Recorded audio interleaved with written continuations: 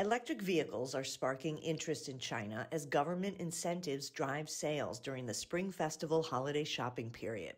China decided to extend tax breaks for new energy cars last September, plus government issued vouchers are also attracting customers. In Wuhan City in central China, business is soaring on a street that houses dozens of car dealerships.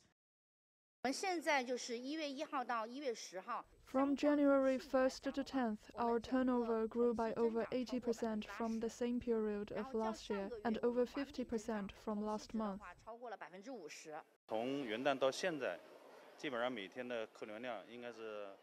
Since the New Year's Day, daily customer visits have risen by more than 30%.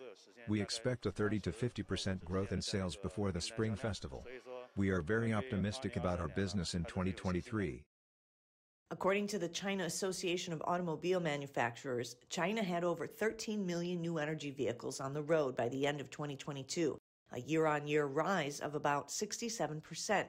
The surging demand for electric cars has also pushed up sales for charging piles.